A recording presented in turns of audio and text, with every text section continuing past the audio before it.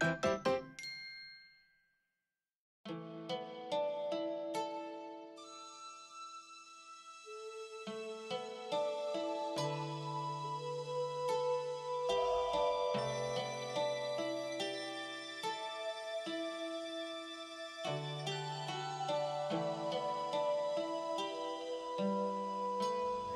大家好，我是平克，不是平静。这部影片呢，想要跟大家介绍一个喜欢日本酒的旅人，或者是未来利用成田机场来东京玩的旅人，可以安排在头或尾的一个景点。它呢，就是日本老铺酒藏饭沼本家的复合设施。饭早本家的复合设施位在成田机场西南方，开车只要三十分车程，搭乘大众交通工具也不用一个小时就能抵达。所以前面才会说，推荐从成田机场来东京玩的旅人，可以将这里安排进行程。来到这里，除了可以观摩酿造日本酒的程序，了解日本酒的文化外，还有别致的餐厅及商店。今年更结合 AR 扩增实境技术，为大家介绍日本酒的魅力。完全可以安排个半天在这里哟。今天呢，有一位负责人会帮我们介绍很多的东西，让我们一起欢迎他。伊尼玛本家の伊尼と申します。本日はお越しいただきましありがとうございます。ありがとうございます。えっと、うちの会社はですね、あのお酒の会社でして木の絵ねっていうお酒を作ってるんですけどもあの最近はですね、えー、敷地内にキャンプ場を作ったりブルーベリー農園を作ったり本格的な和食レストランを作ったりとお酒を通して楽しい場を提供するということで活動しております。すごい。楽しみですね。では一緒に行きましょう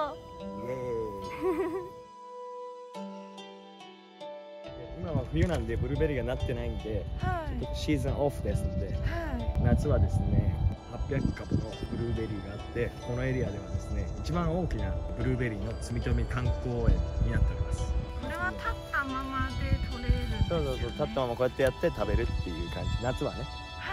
刚刚的那个蓝莓园呢，它是没有限制时间，可以吃到饱，也是这个附近最大规模的蓝莓园，我觉得应该蛮好玩的。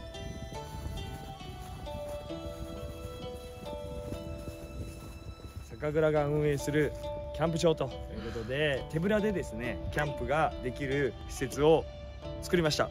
バーベキューをやって焚き火をしながらお酒をゆっくり飲んでいただけるような。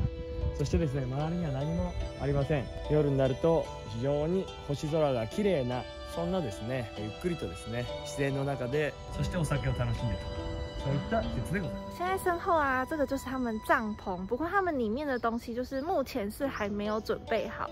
但刚刚呢，就是听范早先生说，里面呢会使用日本最高级的一个床垫品牌西川的床垫，所以它这应该是走就是比较高级的路线。那像这个 Snow Peak 呢，我相信大家也是非常非常的熟悉。不知道大家有没有听到，就是我刚在讲话的时候。背后一直有那个小鸟的叫声，真的很疗愈的一个地方哎。在饭早本家呢推出了这样子扩增实境的一个功能，让大家可以跟巨大的酒瓶拍摄纪念照。こうやると、こう、OK、AR 体験っていうのをやると。こんな感じで撮れますよと。接着带大家去参加酒藏导览。 でここがレストラン思い出。那我们现在经过的这里啊是餐厅，不过我们现在是要先去参观酒藏的部分。我们要去参观那个九藏见雪啊！这个活动呢，基本上是预约制的，然后它有附可以试喝的酒。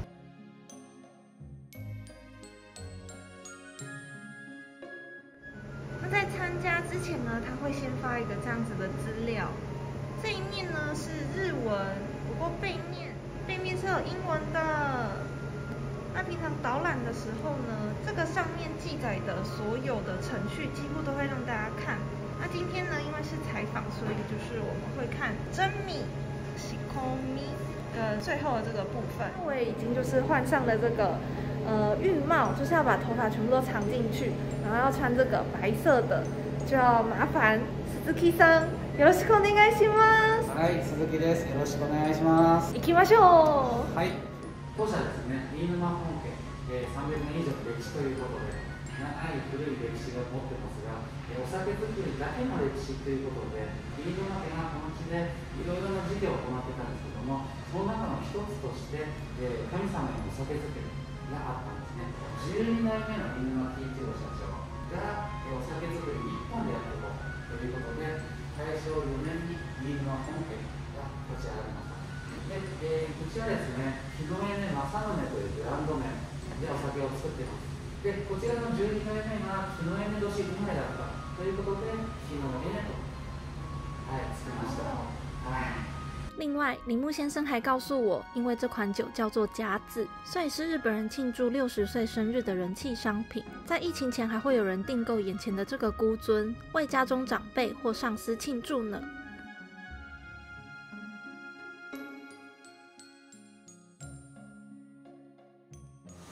際にタンクの中を見てもらいたいんですけども、はい、実は当社でも一番大きなタンク29キロタンク このタンクなんですね、はい、ちょうど1つ2つ3つ4つと横並びになってます、はい、今私たち2階にいますので1階までズドンと大きい今ライト当てますので。はい。もういい香りがしますよね。そうですね。它这个一打开呀，就有很浓厚的酒香呢。一応この中で今金が頑張ってアルコール、まあ、お酒を作ってくれてるんですけどもで、えー、酵母菌がアルコールを作るときにガスも一緒に作りますので今表面にククククククと泡が上がる。この泡の上がり具合も、えー、毎日変わっていきますので私たちもこの泡の上がり具合をまた見ながらあ今どういう状況なんだろうって判断材料としながら温度操作をしてもろみを作っていきます。今3度と、えー、とても寒い環境なんですけども中に入りたいと思いますので、はい、よろしくお願いします。よろしくお願いします。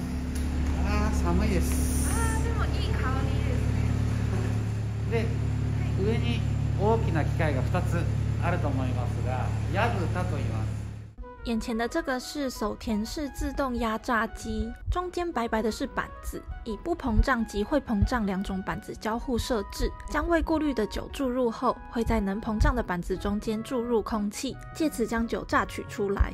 榨完后留在板子上的就是酒粕。根据铃木先生所说，取酒粕的部分就是人工进行，常常在这间房间一待就是好几个小时呢。好，那我现在身后的这个呢，它是一个贩卖伴手礼的，以及咖啡，就都是在这个里面。你如果想要吃就是比较偏轻食或者是点心的话，就是到这里。然后刚刚呢也询问了一下负责人，好像是说你如果想要买他们家的酒的话，在这边购买也会是比较便宜的哟。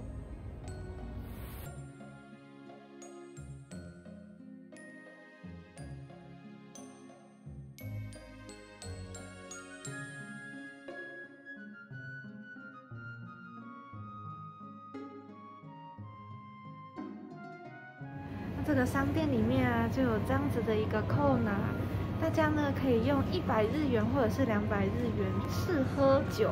对，那这样子呢，大概是半杯再少一点点嘛，因为就我比较不喝酒。但半杯呢是一百日元，那一整杯呢是两百日元，来喝喝看。很香诶，就是日本酒特有的那种香味，很舒服的香味。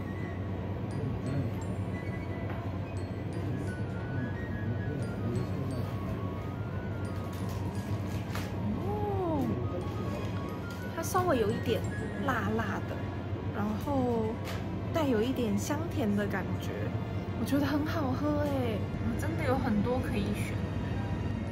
先ほど飲んだその真ん中のお酒の特徴は何ですか？真ん中のお酒は非常に華やかですね。フルーティーでフレッシュ。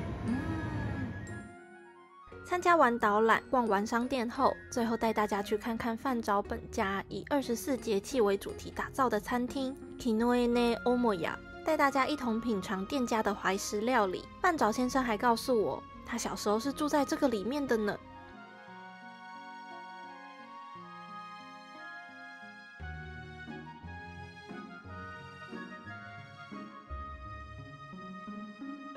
好，那接下来呢，就带大家来品尝饭沼本家今年春季新开的这间餐厅的怀石料理。那它的餐点呢，是以二十四节气为主题去设计的，所以大家来的时候品尝到的料理可能会跟我有一点不一样。他说呢，这个酒呢是只有这间餐厅才喝得到的，它是将米削去了六十趴，只剩下四十趴的米，然后去酿的酒。其实这样子闻起来啊，它就是一种淡淡的、清雅的甜味。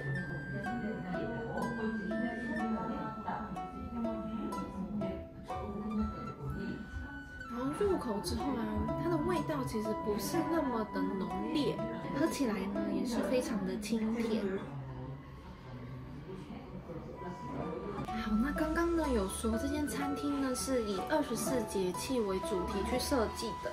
那我来的时候呢是叫做小雪，这里呢就有说明小雪是什么样子的节气。他说小雪呢是雪刚开始要下的一个时期，但是呢是还没有正式的迎向冬季。那这个时期呢就是树叶会开始掉落，柑橘类会开始变黄变橘。那这里呢还有三个词，就是在说明小雪会是怎么样子的一个进程。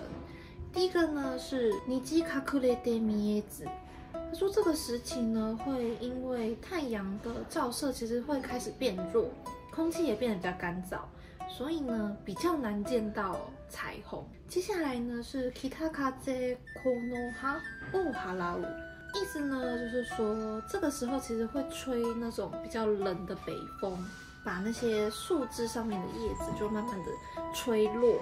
然后呢是塔奇巴呢哈基梅的提巴姆，就是我们这些橘子啊、柑橘类的果实，慢慢的会变黄变橘。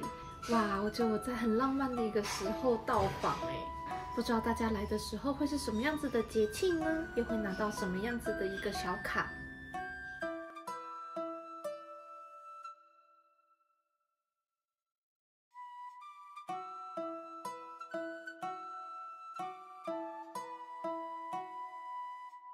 餐厅这里也有 AR 扩增实境的小机关可以玩，可以召唤出可爱的职人，了解酿酒的知识。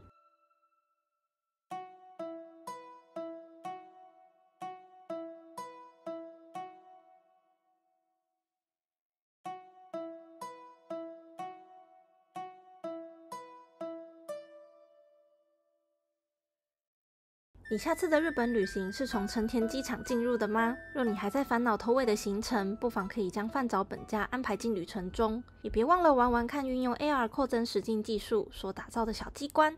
关于交通，最后有个建议，推荐大家到 JR 九九井站搭计程车前往，车程约十分钟。若你打算从南九九井站步行前往，因为有一个很大的斜坡，我是觉得有点小辛苦，所以推荐大家搭计程车。好，那希望你会喜欢这支影片，喜欢的话也请不吝帮我多多分享啦。